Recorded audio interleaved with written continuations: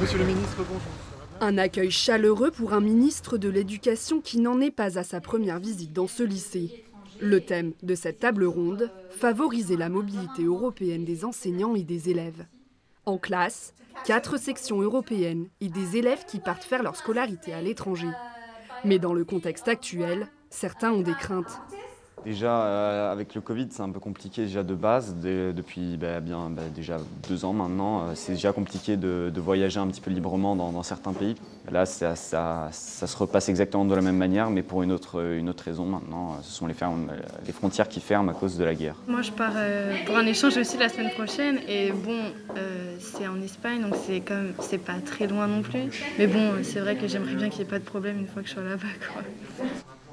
Aux portes de l'Europe, la guerre en Ukraine s'est naturellement invitée dans les débats à l'école. Jean-Michel Blanquer veut rassurer et passer un message de fraternité.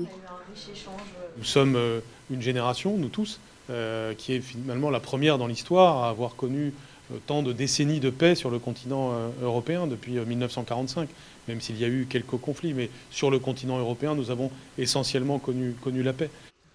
Après cette visite ministérielle, le lycée recevra, la semaine prochaine, des délégations venues de toute l'Europe.